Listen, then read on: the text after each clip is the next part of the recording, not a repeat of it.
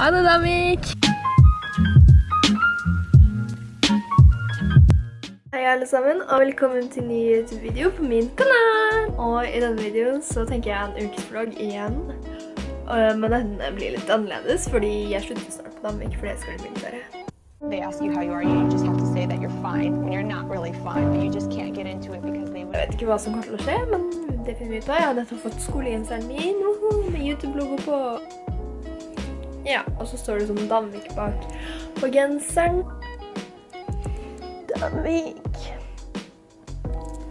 Så ja. Vi har også akkurat hatt klassebilder med YouTube-klassen til årboka som vi lagde på Danvik, som valgfag. Etterpå i dag, klokken seks, så skal vi se på skuespillerlinja, som skal ha forestilling. Ja, og så før middagen skal jeg vaske gangen, som er dritkjedelig, men ja, det må gjøres. Det som var så dritt, var at sist gang jeg gjorde det, så søpla måtte jo tømmes, og søpla var fulle, masse ting oppi, og masse sånn pizzabakeren, bakkegreier.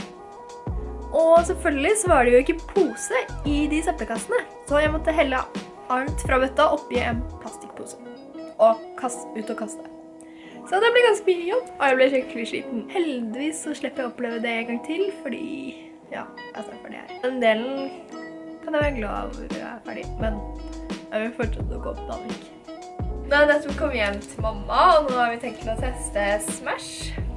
Er du spent? Det er jo egentlig. Da får vi teste den. Ok, klar? Mm, den var god! Mm. Vi gir en terningkast seks. Veldig crispy god. Ja. Ok, så jeg har kommet tilbake på Danvik, og vi har Pride-uke. Så det er veldig gøy. Og man skal gå med blått eller rødt i dag. Og jeg går med litt rødt. Jeg har på meg blå bukse, da. Det er litt trist dag i dag, fordi skuespillerklassen skal snart til London. Så jeg må si ha til dem i dag. Og jeg drar da er det påskeferie. Og etter påskeferie så skal jeg rett inn til min militæret, så det er derfor jeg slutter. Med mindre jeg blir sendt tilbake av militæret på grunn av jeg skoliose og dårlig syn. Vi var også på en fotoutstilling forrige, forrige uke, tror jeg, som jeg drev og filme litt, så det kan jeg legge inn her.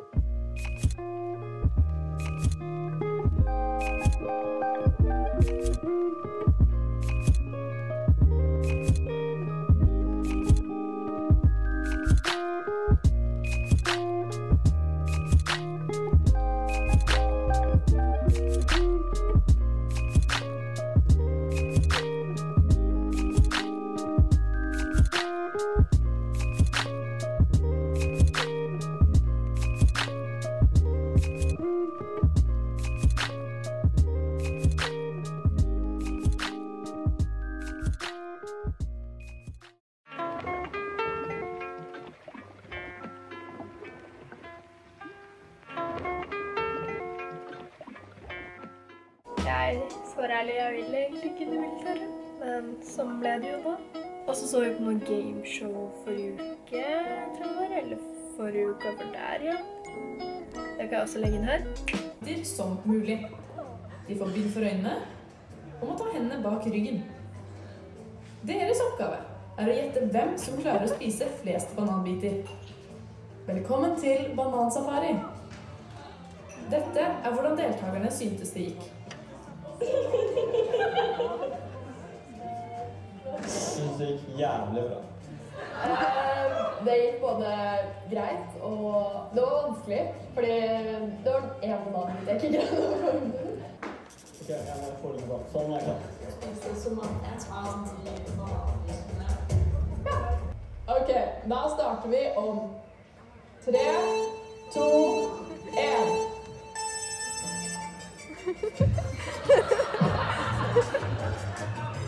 Og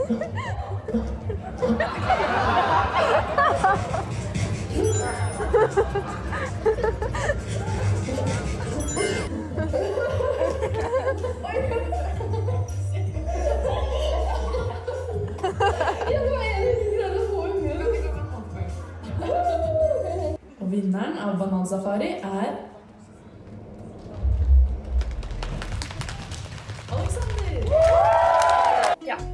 Dere oss, så var det jo banansafari jeg var med på. Det å spise banan på vinduet. Det var morsomt.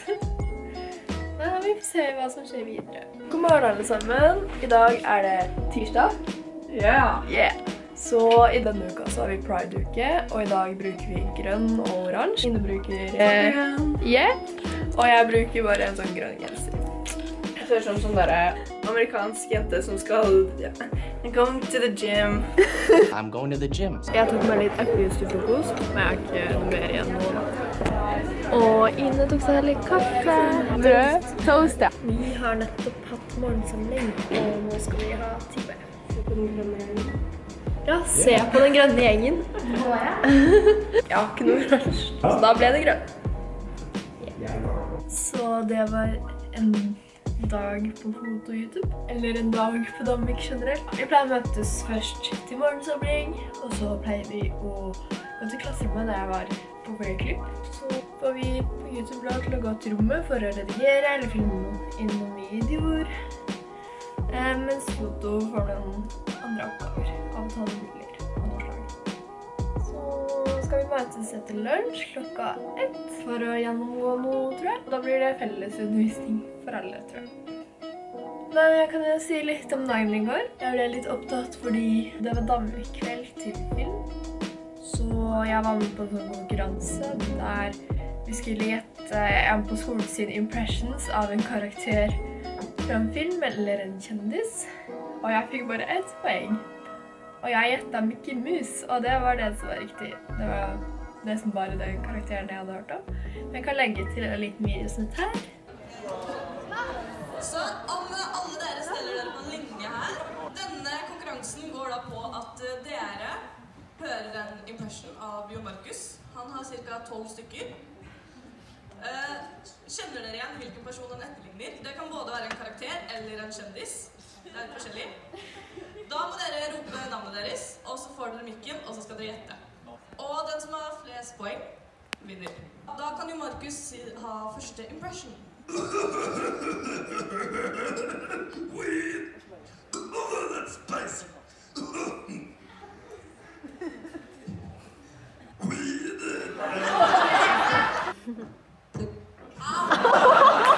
The Grinch.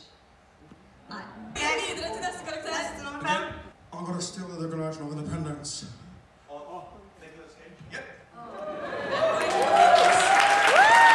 Ett poeng der da, til Mathias. Oi, og så fikk jeg på tre nordlig fra alle kanter. Og det er farlig ting. Platypus? Her er det platypus! Ja.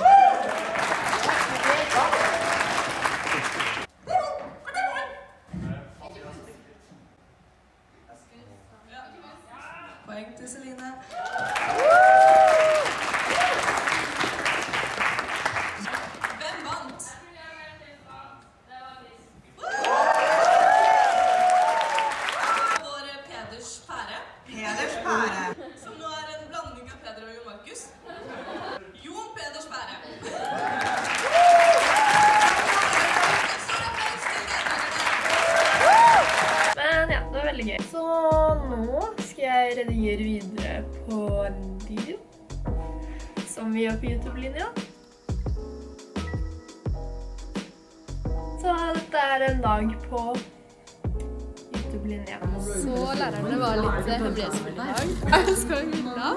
så vi fikk en overraskelse der hvor de serverer is og alt mulig rart. Så det var veldig koselig.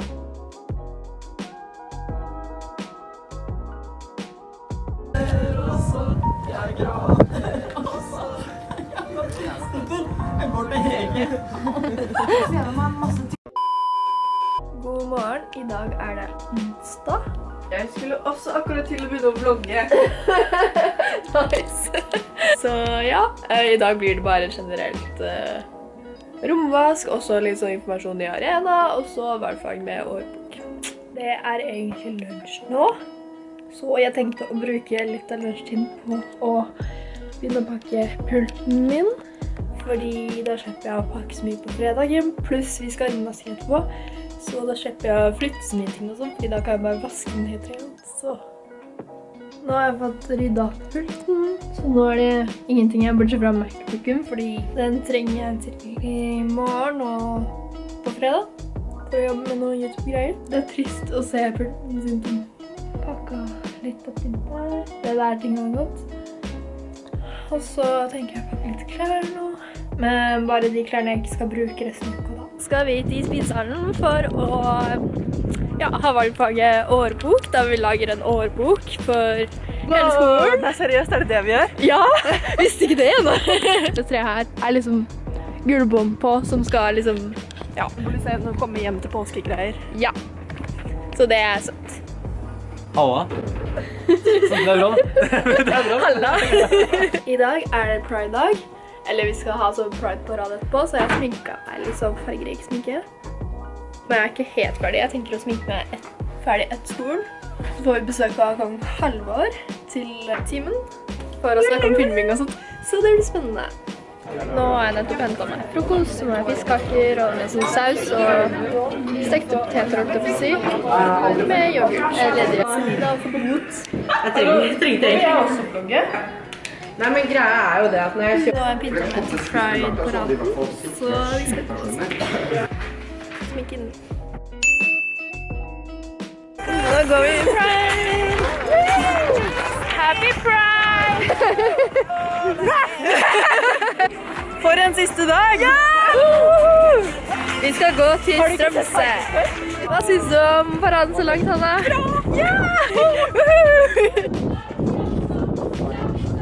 Tusen takk for året på Danvik.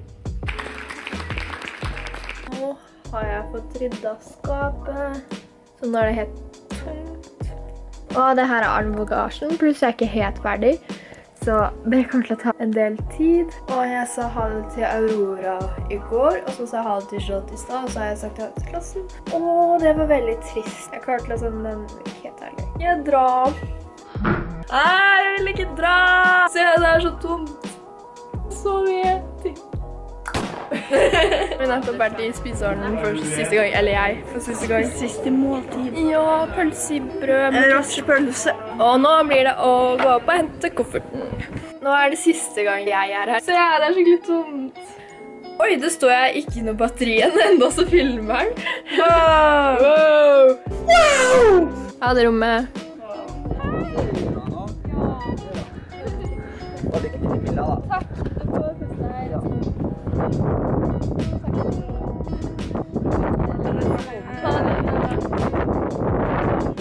Ha det, Davik.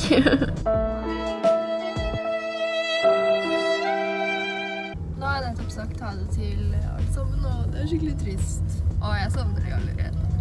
Jeg skal prøve å komme tilbake på Danvik på en fridag i Milan. Håper jeg at jeg blir sendt tilbake fra militæret, så jeg kan gå på Danvik igjen.